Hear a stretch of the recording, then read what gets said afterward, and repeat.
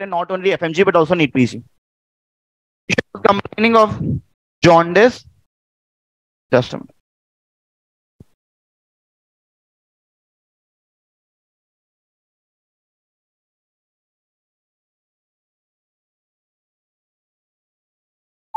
So the patient was complaining of jaundice and there is right upper quadrant.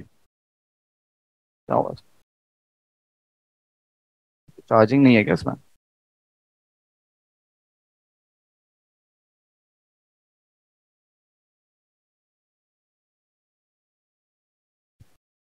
Hmm. ठीक है। So patient was complaining of jaundice right upper quadrant pain है। That means over here in the right hypochondrium और the right upper quadrant and recently started experiencing tremors ठीक है?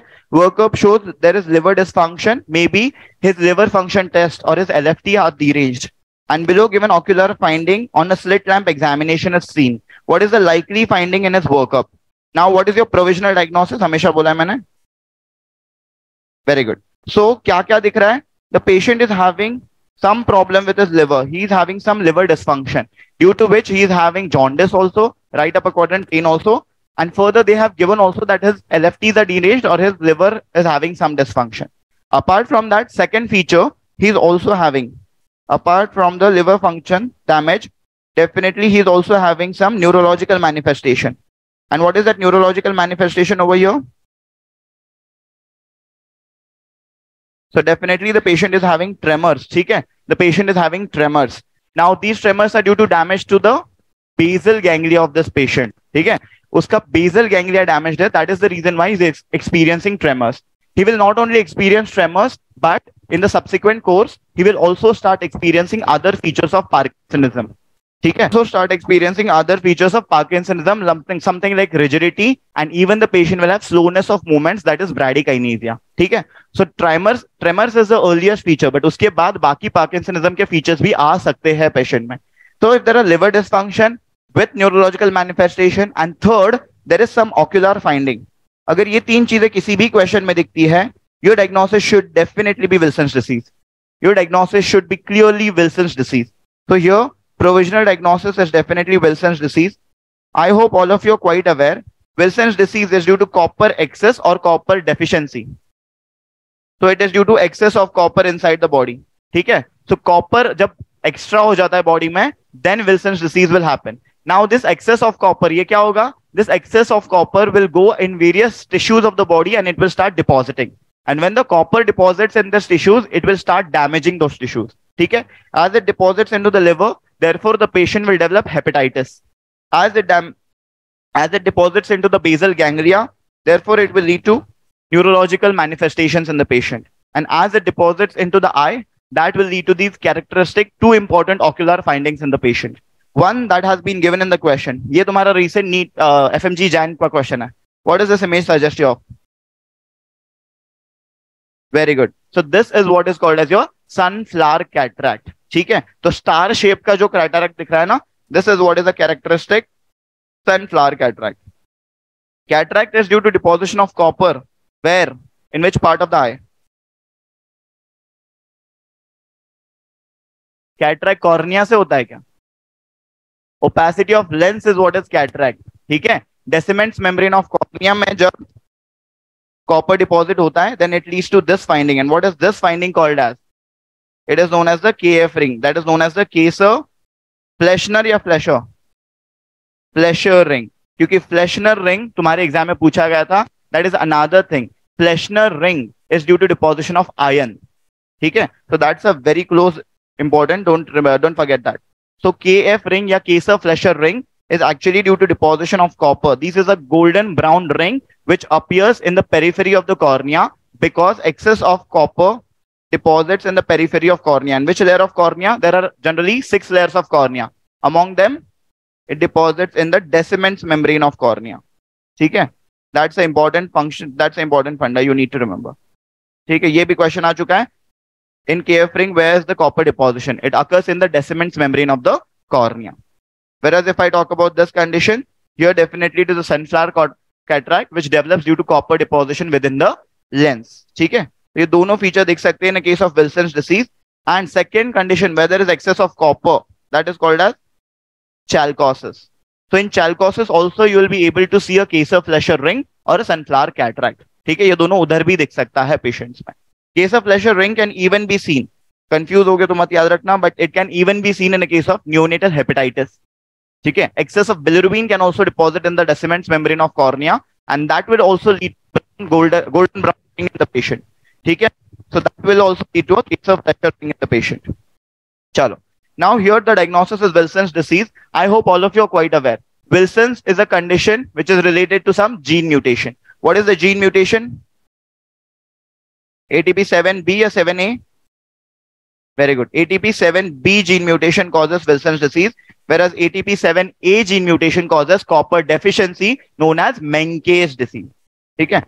Now here definitely if it is a case of Wilson's disease, Wilson's disease को ये सब features एक ही line में याद रखोगे जब तुम विल्सन डिसीज का दूसरा नाम याद रखते हो because in one of the examination Wilson's was not in the option. The other name is called as hepatolenticular degeneration. It is known as hepatolenticular degeneration is another name of Wilson's disease. Hepato मतलब liver, lenticle का मतलब दो होता है एक तो lens भी damage होगी leading to sunflower cataract And second, lenticle is another name for basal ganglia as well. So both of these are damaged. Okay? So hepatolenticular degeneration. So now, what would be seen in this patient? Option A says low serum copper levels. Well, there would be low or high serum copper levels. High because it is a copper excess condition. Option B says high blood glucose levels. High blood glucose levels are seen in which condition? They are seen in a condition of diabetes mellitus. And diabetes mellitus leads to a sunflower cataract or it causes a sunflower, sorry, a snowflake cataract. It causes a snowflake cataract. And any which ways in diabetes mellitus, there is no liver dysfunction. There would not be any history of tremors in the patient as well. ठीक है? तो liver और bezel ganglia का damage नहीं होता है सच ठीक है? क्रेनियल नर्व पैल्सीज हो सकती है बाकी नर्व पैल्सीज हो सकती है बट लिवर का डैमेज आज सच नहीं होता. ठीक है? So option B is also ruled out option C से CTG repeats on a genetic analysis I hope all of you quite aware patho हो चुका है CTG repeats on a genetic analysis क्या होता है ये? किसकी वजह से? CTG, it is a trinucleotide repeat expansion. Jab CTT, CTG is repeated hundreds of times in his DNA, then what will happen? Which disease? Very good. Myotonic dystrophy. The patient suffers from myotonic dystrophy. And if the patient suffers from myotonic dystrophy, then the patient will have a sunflower cataract or a Christmas tree cataract. Definitely, the patient suffers from a Christmas tree cataract. Now, what is the protein that carries copper so the copper transport protein is known as ceruloplasmin ठीक है? So now if there is excess of copper in the body all the ceruloplasmin in the body will be use up जितना भी copper था, वो क्या हो गया?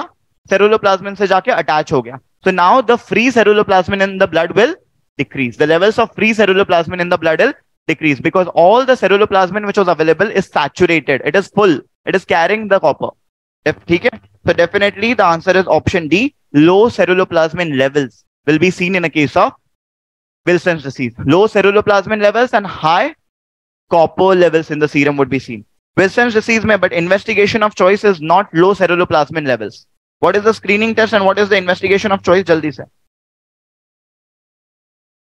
हाँ तो हो चुका है तुम्हारा भी टीएनडी वालों का तो मेडिसिन भी हो चुका है जीआईटी ऑफ्था के लिए नहीं पूछ रहा मैं मैं विल्सन डिसीज का screening test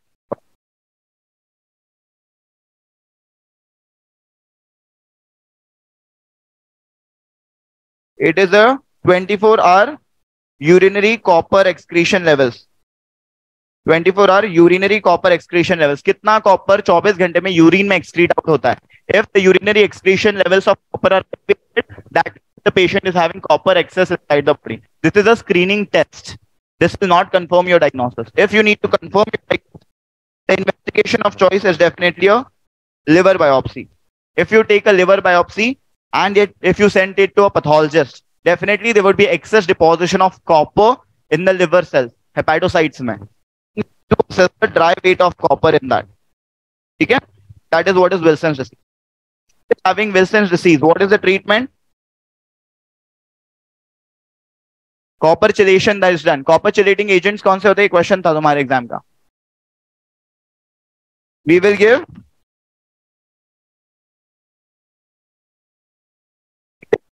D penicillamine chelating agent की अगर बात होती है तो it is D penicillamine chelating agent मतलब it will bind with copper and it will cause excretion of copper from the body that is called as a chelating agent so that is D penicillamine voice is breaking in between Dilip ji है क्या?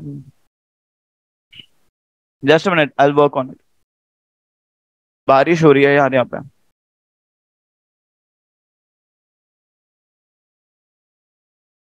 Whereas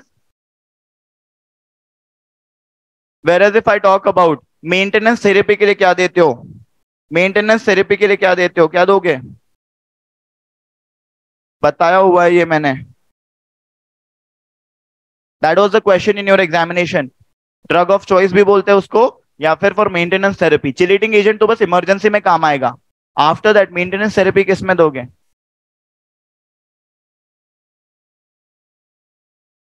mic voice break हो रही है mic पे please एक बार देख लीजिए So that drug of choice or maintenance therapy is done with zinc acetate. Okay, it is done with zinc acetate, which will decrease the absorption of copper from the intestine. Okay, so that is the mechanism of action of zinc acetate. That is considered drug of choice medicine में पढ़ोगे बात ठीक है चलो moving further तो ये हो गया तुम्हारा answer on Wilson's disease if I talk about this condition what is this over here so this appears as a Christmas tree okay green and golden color का अगर दिखता है this is what we discussed already. Christmas tree cataract is feature associated with myotonic dystrophy. And already I told you myotonic dystrophy mein there would be repetitive CTG codons which would be seen. Okay, so that's the important funda. So इसी की तरह दिखने वाला और एक that is called as a complicated cataract. That is what complicated cataract. What do I mean by a complicated cataract? So a cataract, which is usually secondary to some other cause. Patient was suffering from some other disease. Now he develops a cataract. That would be called as a complicated cataract. It is secondary to a cause. And what is the most common cause of a complicated cataract? Anybody? cause of a complicated cataract is definitely uveitis. It can also be some tumors in the patient as well. Okay, some intraocular tumors. It can be trauma as well. Okay, all of these can lead to complicated cataract. What is the characteristic appearance in a complicated cataract? Kya dikhega? On a slit lamp examination, there would be a characteristic breadcrumb appearance with a multiple colors dikhenge. Not only golden and green, but there you will also see red, pink, yellow, all of these colors. And that is called as a many colors now. So polychromatic luster चमकेंगे ऐसे colours polychromatic luster so breadcrumb appearance along with polychromatic luster is a feature associated with complicated cataract which is most commonly caused by uveitis in a patient कोई दिक्कत नहीं है इसमें so that's very similar to it चलो done with this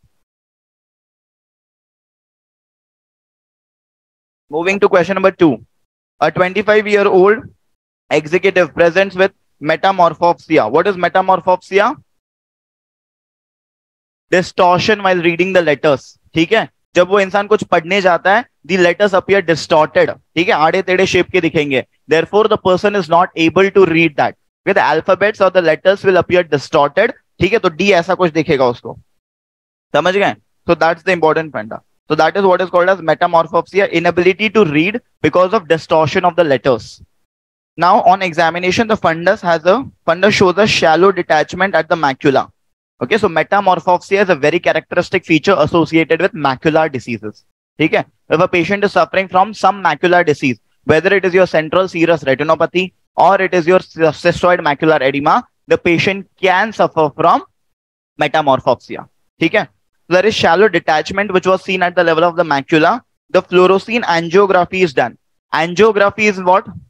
It is a photograph of the vessels कौन सी vessels of the retinal vessels ठीक है? Why fluorescein because we are injecting a fluorescein dye ठीक है? And where is that that was your question where is the fluorescein dye injected for a fundus fluorescein angiography F F A के लिए.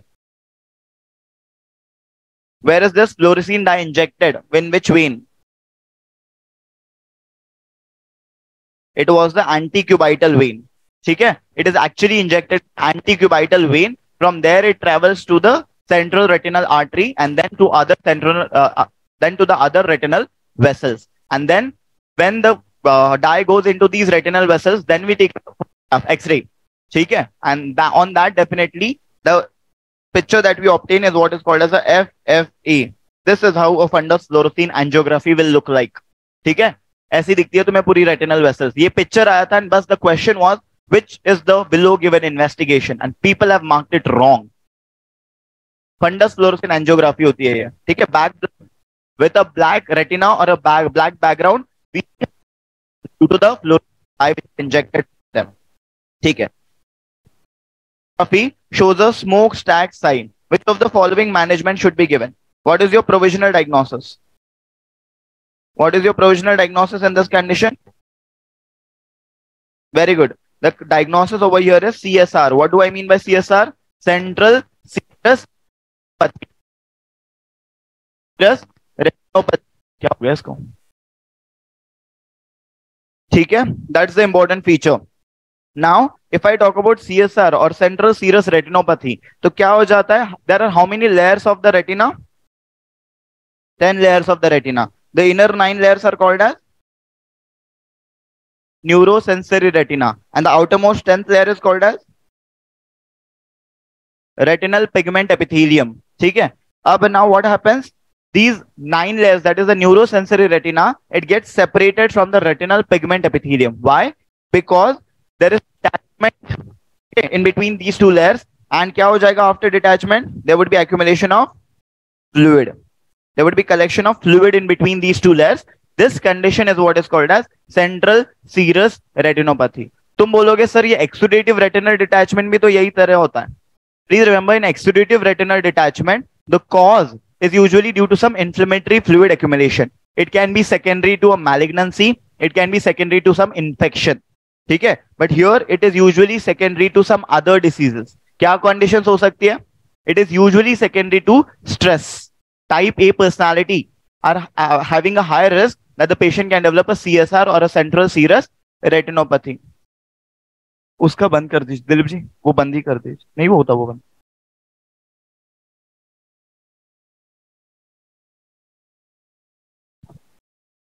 एक बार ही check कर लो यार।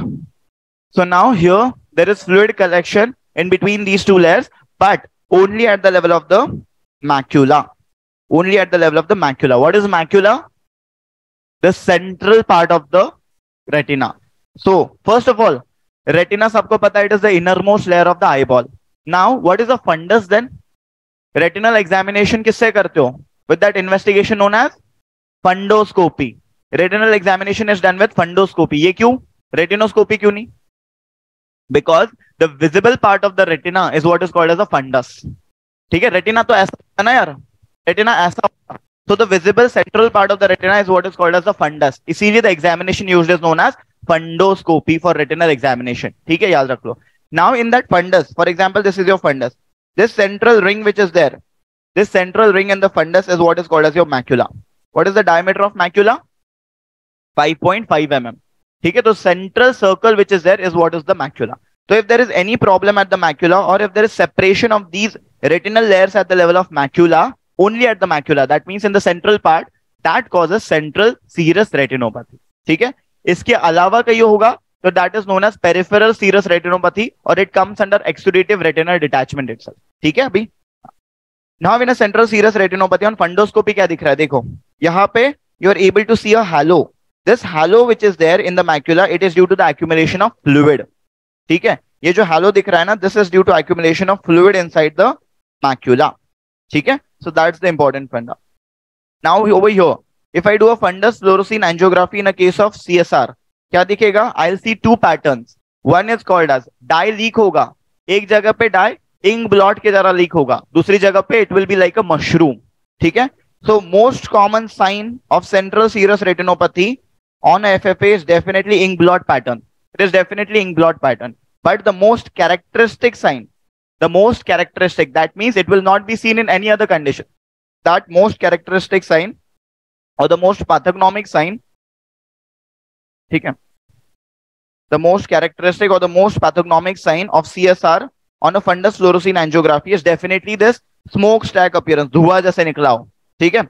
It is known as the smokestack appearance, also called as, I told you, it is also known as the mushroom sign. Even it is called as the umbrella sign. It is also known as the umbrella sign okay that's the important funda now if i talk about this what is this investigation ये NEET PG का question था एक बार बस इतना ही पूछा था is the below given investigation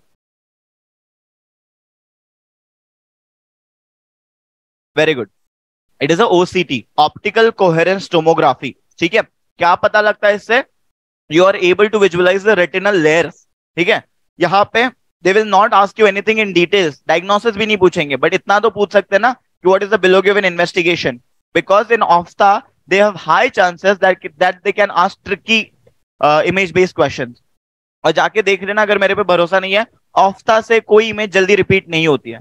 ऑफ्ता से हर बार नई इमेज आती है एग्ज़ाम में। ठीक है ऑफ्ता से हर बार नई इमेज आती है एग्ज़ाम में। प्लीज़ माइंड दैट ठीक है? तो यहाँ पे it is OCT optical coherence tomography, and what we can see over here, this is the outermost layer, that is your retinal pigment epithelium. And these are the neurosensory layers the inner nine layers and बीच में क्या जमा हुआ है?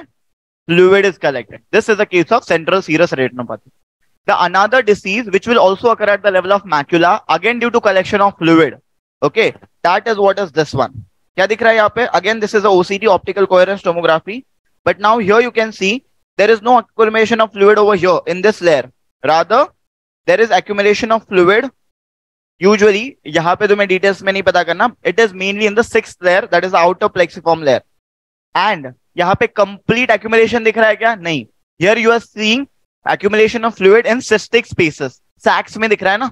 बहुत सारी sacs में there is fluid which is accumulated ठीक है? तो if you are able to see accumulation of fluid in the out of plexiform layer in cystic spaces this is what is called as cystoid बीच में होता है macula में, इसीलिए macular and what is collection of fluid called as edema.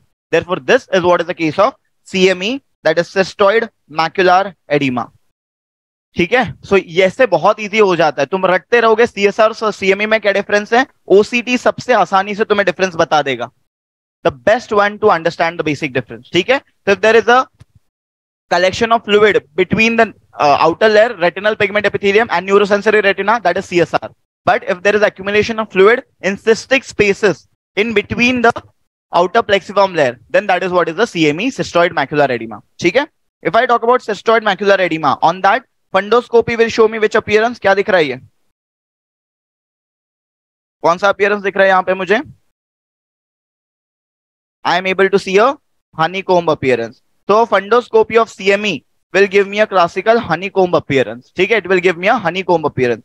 Whereas if I talk about the fundus fluorescein angiography, this is a classical flower petal appearance. This is a classical flower petal appearance, also known as a petaloid appearance. Also known as a petaloid appearance. Okay, so please remember honeycomb appearance on fundoscopy and flower petal or petaloid appearance on FFA are definitely a characteristic feature seen in a case of cystoid macular edema. Cystoid macular edema usually occurs in which condition? What is the most common cause of it? Diabetic retinopathy. Rather, cystoid macular edema is the most common cause of vision loss in cases of diabetic retinopathy. Okay? So if they ask you which is the most common cause of vision loss in a case of diabetic retinopathy, answer is cystoid macular edema. But if they ask you which is the most common cause of vision loss in diabetes mellitus, which is the most common cause of vision loss in diabetes mellitus, what is your answer? अब ये straight one liners है. Very good. Which type of cataract is seen? तो snowflake cataract diabetes mellitus मतलब patient में retinopathy अब तक develop नहीं हुई बट अगर वो रेटिनोपैथी बोलता है then the answer is CME cystoid macular oedema and if they ask you what is the most common cause of sudden vision loss. Most common cause of sudden vision loss in diabetic retinopathy. क्योंकि sudden vision loss will not occur in a case of diabetes mellitus. It generally occurs in a case of diabetic retinopathy. That is that is vitreous haemorrhage that is a vitreous haemorrhage क्यों होता है? वो discuss don't worry about that तो ये तीन important one liners याद रखने। हैं most common cause of vision loss in diabetes mellitus snowflake cataract in diabetic retinopathy CME and sudden loss of vision in diabetic retinopathy vitreous haemorrhage no issues to the anybody that's the important thing you need to remember now important thing और एक बात, इन दोनों के difference में याद रखनी है। It's not about the uh, diagnosis, it's not even about the causes, it's about the treatment. What is the important condition that you need to remember? What is the treatment of choice for CME? The mainstay of treatment over here are edema है ना edema reduce करने के लिए क्या देते हो steroids always so here it is the steroids but on the other hand CSR में steroids are absolutely contraindicated steroids are absolutely contraindicated in a case of CME so what is done for CME CME is actually a self-resolving condition. That means it will resolve by itself. अपने आप ठीक हो जाएगा। Okay self resolving condition होता है CSR sorry CSR self resolving condition होता है CSR okay central serious retinopathy now here are diagnosis was CSR ठीक है? Usually what is the indication I told you it is self resolving what is the indication हमें कब intervene करना पड़ता है? If the CSR is lasting for more than four month if it has not resolved for a span of more than four months. Second thing, when the patient is having recurrence, when the patient is having recurrence, okay, when the patient is having recurrence. These are the two most important indications when we need to intervene, when we need to treat the patient of central serous retinopathy. Okay, indications of treatment. So now here, अपने बंदे को क्या है यहाँ पे he, he is a 24 year old 25 year old guy he is metamorphopsia. And I told you metamorphopsia can be seen in any macular condition. It can be CSR also. It can be CME also. So up tak dono diagnosis tha apna. Now on examination, the fundus shows a shallow detachment at the macula. Now shallow detachment at the macula can be seen in again both, but more characteristic is a feature of CSR. Next, fluorescein angiography confirms a diagnosis because smokestack appearance is the not most common. I'm saying the most characteristic sign of CSR. मतलब अगर smoke stack appearance है तो वो और कुछ नहीं हो सकता except C S R in the patient that is how you make a diagnosis ठीक है? Which of the following management should be given in the patient क्या दोगे अभी? Did they mention a timeline did they mention that the patient was having any recurrence तो फालतू में सोचना है कि किसी और की चीज़ के बारे में।